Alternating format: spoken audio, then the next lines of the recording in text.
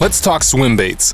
LIVETARGET has three varieties of saltwater swim baits the Atlantic mackerel, the croaker, and the Spanish sardine. The dorsal fin acts as a hook shield. The extra wide gap hook has a low positioning for big hookup power. They're all factory rigged for perfect balance out of the box, and the accessory pin enables you to customize all your swim baits with additional hooks and blades. But each one of these swim baits has their very own feature that sets them apart. This is the Atlantic mackerel. It accurately mimics a juvenile mackerel known as a tinker. It's ideal for striped bass, but many species will attack these lifelike lures.